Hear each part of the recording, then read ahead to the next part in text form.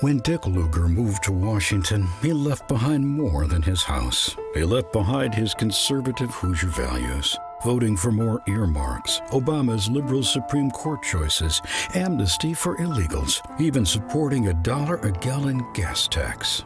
Now they call him Obama's favorite Republican. Lugar's been in Washington 36 years.